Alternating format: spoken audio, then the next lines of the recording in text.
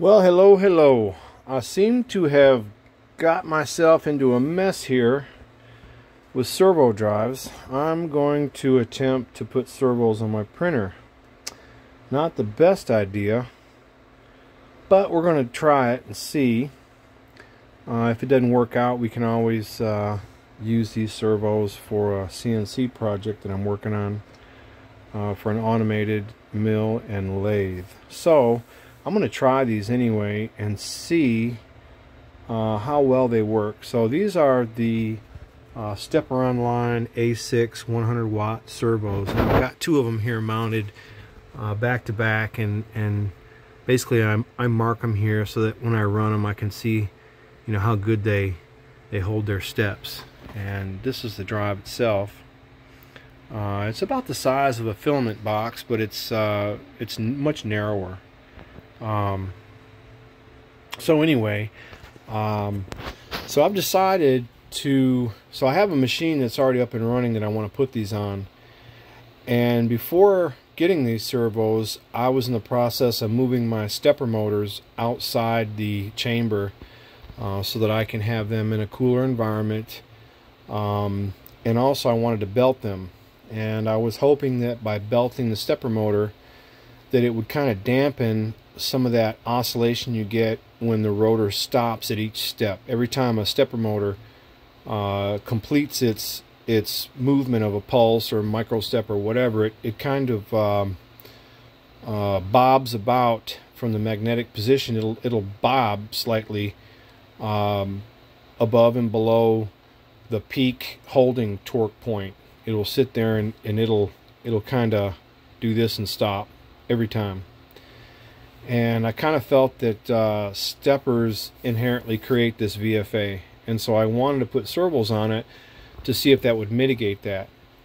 However using a servo because you don't have planned motion you're going to send pulses in the same way and the drive's going to respond but the drive doesn't really have an end target. All it sees is a pulse go pulse go. No pulse stop so that's going to cause an overshoot, whereas a stepper motor is not really going to be able to overshoot. If it does overshoot a step, it's actually skipped a step. So steppers are good in that they're not going to overshoot, and servos are going to overshoot if you don't have any motion planning. So you probably would have to set the gains up really high on the servo drive in order to, to mitigate uh, that overshoot, but it's going to happen uh, in in pulse direction mode. It's just, just going to happen. So it's really not a great idea.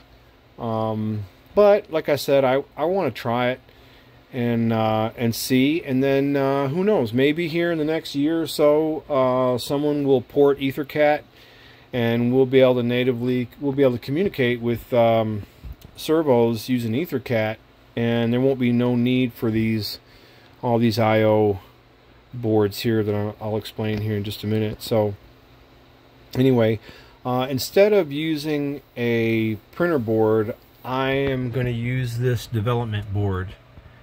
And this is an H723 uh, development board.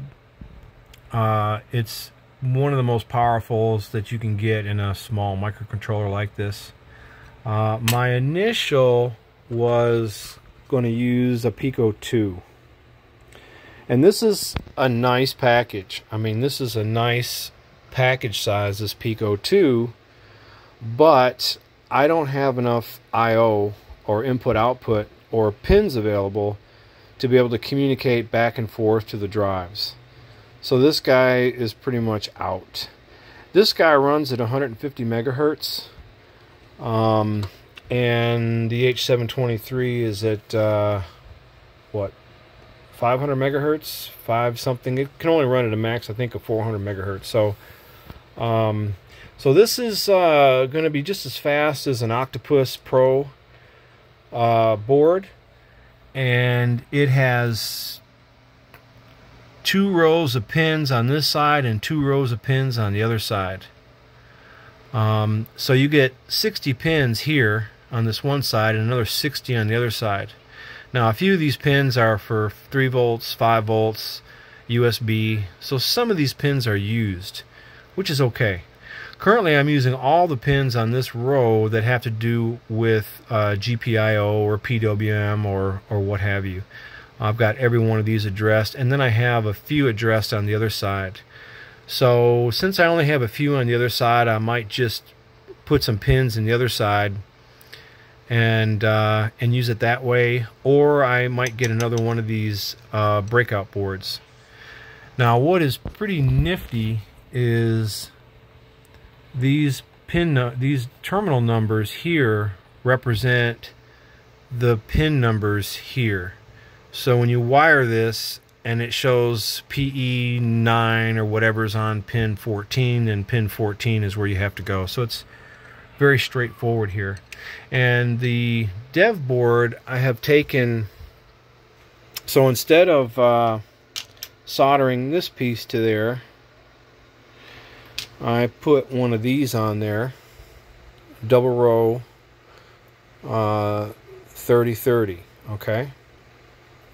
And so I've got this soldered on the bottom side and I've got another one on this side.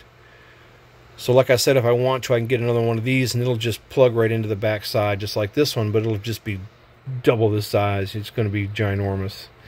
Um, anyway, so so anyway, I thought that worked out really well. This is in there very rigid. Okay, so I'm pretty happy with this arrangement right here. So, um, so now also I'm outputting 3.3 volts. These are really not they might be 5 volt tolerant. I don't think they are actually. These are 3.3 volt tolerant here. And so I've got an optical isolated uh, I.O. board here. So this takes in 3.3 volts and then outputs at whatever I have on VCC up to 24 volts. And just for this setup, I'm using uh, this to output my home initiate to the Z Pulse and also my drive enable. And I've got those running to a relay board. I won't be using a relay board for I.O. Uh, related to drive input signals or output signals. I won't use relays. I will possibly use these relays to drive a contactor um, for emergency stop so that I can cut the main power to the drives. Uh, these drives are 220 volts and um, the proper installation method is to use a contactor in front of the drive and to tie that into e-stop. So I'll be doing that more than likely with one of these and there are four of these for the four drives for four contactors. Um, I may use one contactor um, and feed all four drives with that and then I'll only have to use one relay and it'll just kill them all uh, in case there is a problem. So, um, so this is an input to output, uh, input at 3.3 and output uh, 3, I think it's 1.8 volts up to 24 volts on this particular board. And then I have another board here that is a output board and this takes 24 and brings it all the way down to 3.3 volts on this side. So I can directly attach my I.O. from my H723 directly to the output here. It's optically isolated. There's not going to be a problem between those two electrically to cause any kind of problem. Um, and then, so just kind of a rundown here of how this works. Um, sorry about that. Is um, for my test setup, I'm outputting the pulses on this green wire here. And this is open collector output. Okay, so I'm a single wire is my pulse signal and the next one is my direction. And then for the second drive, this is my pulse and this is my direction. So on a regular stepper, if you were to use a, a 3D printer board, you would use the direction, the step, and the enable right off the stepper port. I think the first pin on the left is direction, the second one up is step, and then the very top one on the left hand side is enable. So, uh, and then these signals here of pulse and direction are running to a, this in particular is a Waveshare isolated uh, TTL to RS485 line driver.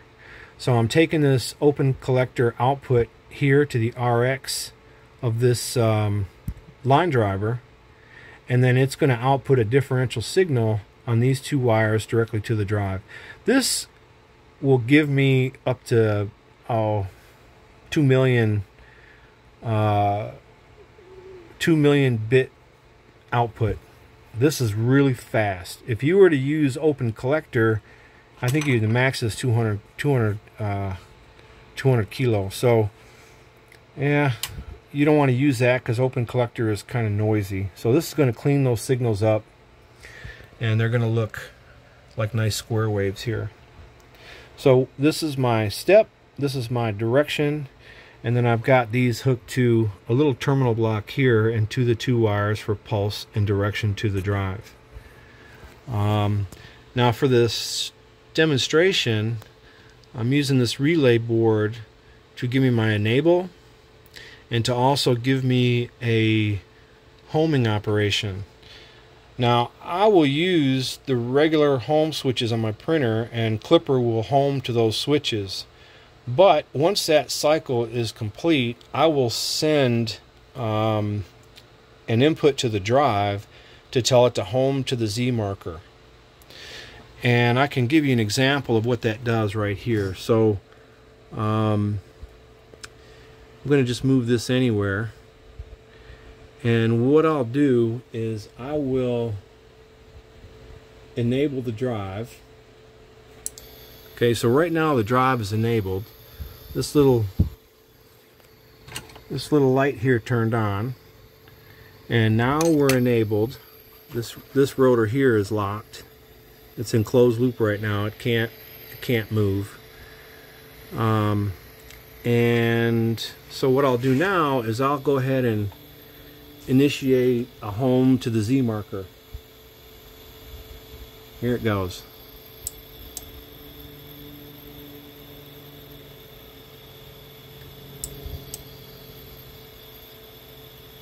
Okay, I can do it over and over again.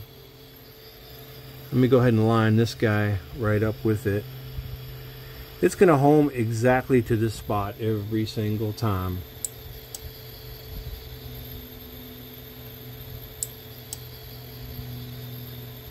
Okay, and so I've got that output. I'll show you the output here when I trigger it.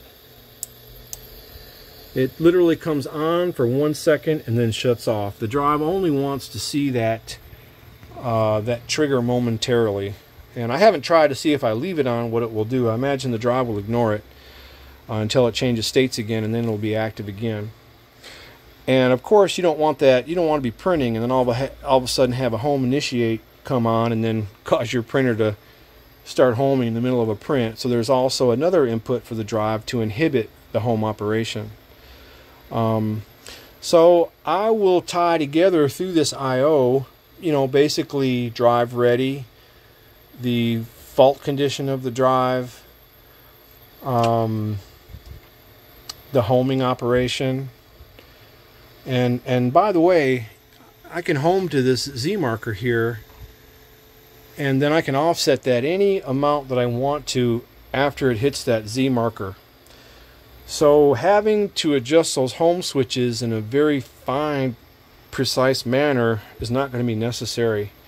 Um, so sometimes when you mount your end stop switches and you have to adjust them, it can be very finicky to get a very fine position unless you really design your mechanical uh, end stop such that when you loosen the screws to move it, it doesn't twist or tilt, you know, or move away from, you know, the point, the, the point of contact of the uh, arm of the switch. So it can be a real pain to adjust uh, end stop switches to get perfect racking of your of your gantry. Okay, so um, so yeah, so that's what I got here. It's very straightforward here on setting this up. It's very easy. It's just like a Pico 2, except the addresses are different, just like an Octopus. Flashing the card was simple. Um, it's just like you know anything else. Um, so so anyway, so yeah, I got uh, relay board here. I got optocoupler boards for I to uh, for I to O and O to I, and I'll have communication between the drives uh, by wire anyway instead of software. It would be nice to have you know software communication to talk back and forth through EtherCAT or Modbus or whatever, but uh, we don't have that with Klipper. So, um, and so I, am using a, a 3B, a 5 volt power supply. Uh, I'm trying really not to use much of any 3.3 volt here because there's a limitation on how much current you can use from this board. And I don't remember what the total is but it's on the Pico 2 I think it's like 50 milliamps. Um, so uh, but through these these opto isolators here you're not drawing but not drawing much current on these channels at all. So that's this is really the good you know you don't want to run these to relays. And, and I hate to use relays uh, do basically the inductive kick. Uh, when that coil shuts off, it it uh, it induces uh, current into that line, and and you can uh, you can blow your inputs real easy if you don't have at least a a uh, flyback diode on here. So these come with them. They're they're right there. Every one of these relays has them built in. Um, but again, I I don't really like to use mechanical relays too much. Um, but sometimes sometimes you might have to use them so and uh, so anyway yeah and uh, you know I can I can command this guy to run at uh, at 3000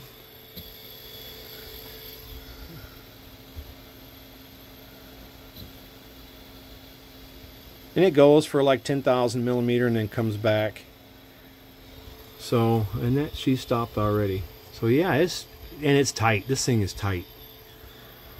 So yeah, I'm kind of laying this out to get an idea of the arrangement. Make sure everything works. So I got me a test stand here. I just didn't go for the full Monty right away and install it.